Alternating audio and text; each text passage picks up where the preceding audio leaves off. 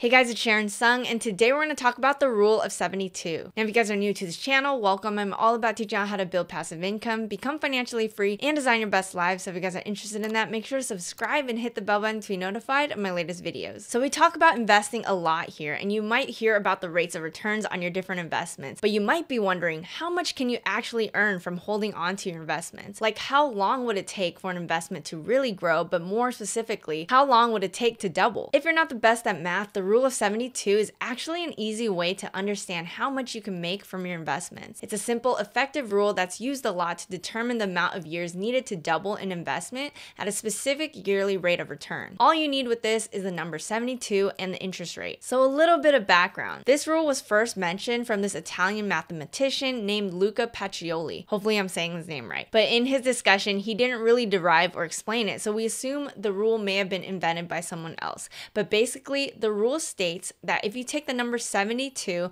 and divide it by the interest rate of your investment, that number is the amount of years it will take for your investment to double. Now, a chart from Wealthsimple showcases this. And it's crazy to see that on the chart, if you have a rate of return of 3%, it would take 24 years to double your money, whereas with 2%, it would take 36 years. That's a whopping 12 year difference between 2 and 3%. Here you can see the rule is not 100% accurate, but it's pretty accurate, right? You can see that there's a little bit of difference in the years, like on 3%, it says 0.6 years. 5%, it says 0.2 years, but it's still decently accurate. All right, now let's say we have three investors who've put money into investments with different annual rates of return 3%, 6%, and 8%. With investments, there's risks, so your rate of return isn't guaranteed, but let's just say it is here. So, how would you compare these three and how much better is that 8% versus that 3%, for example? So, with the first investor, you would divide 72 by the interest rate of your investment. So, basically, 72 divided by 3 equals 24 years then for the second investor, it'd be 72 divided by 6, which would equal 12 years. And then in the last scenario, you would divide 72 by 8%, which would be 9 years. As you can see, there's a big difference between each percentage. Now, let's say they invested $30,000 at 24 years old. Well, investor 1 has an annual rate of 3% return,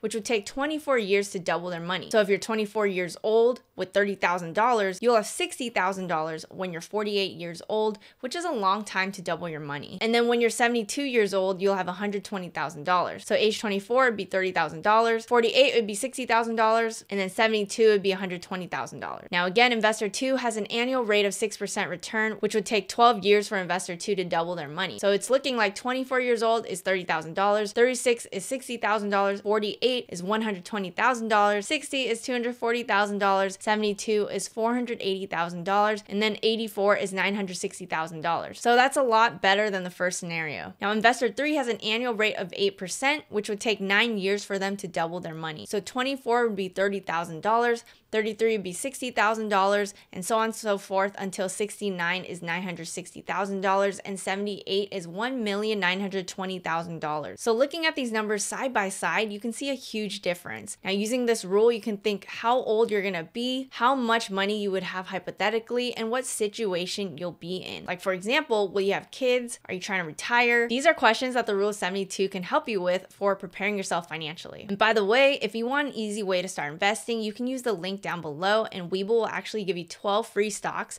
for using the platform valued up to $25,600. And that's pretty awesome. That's an easy way to get started on a free stock trading platform that'll give you free stocks to put you ahead. All right, back to it. So if you can continue to save more so you have more to invest and you're able to increase your rate of return, you're going to be able to increase your net worth a lot faster. But I'm not saying to try to get higher rates of return by putting your money into high risk investments because that's going to make you lose your money as nothing's guaranteed. So it's better to invest in safer asset types like index funds or ETFs and diversifying with real estate as to not put all your eggs in one basket. So for example, SPY had a 9% rate of return in the last 30 years, which is quite a large return and it tracks the S&P 500. This is a much safer investment than investing in a penny stock, for example, with potential high returns but also also a large potential to completely lose their value. With all this being said, it's important to continue your financial education and continue saving as much as you can to put it back into your investments because that's the best way to grow your net worth quickly. The cool thing is the rule of 72 applies in different ways. So, one way is to flip the script, right? You can ask at what rate does my money have to grow to double within a specific length of time. So, in order to do this, instead of dividing 72 by the rate of return to get the length of time, you divide 72 by the length of time to get the rate of return. So, say you want to double your money in six years. 72 divided by six years equals 12% rate of return,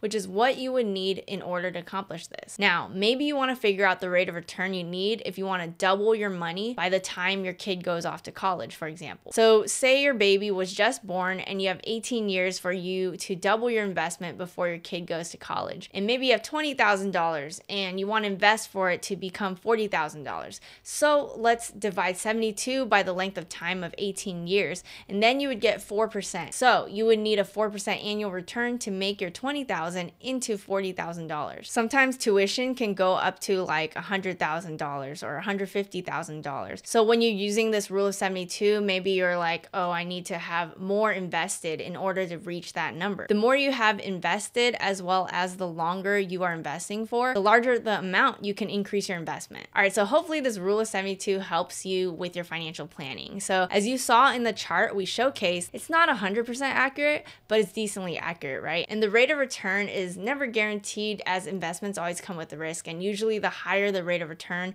especially past 10%, the riskier the investments are. So that's why I would actually focus even more on increasing the amount you can invest consistently and making sure you're allocating your investments safely and keeping with a six month emergency fund. So you don't want to invest all of your net worth, right? You still want to have that emergency fund in case anything goes wrong. So make sure you're paying yourself first, investing as much as you can, and then saving as well. If you enjoyed this episode, let me know in the comments below how you're to apply the Rule 72. Subscribe, hit the bell button to be notified of my latest videos, and I'll see you guys in the next one.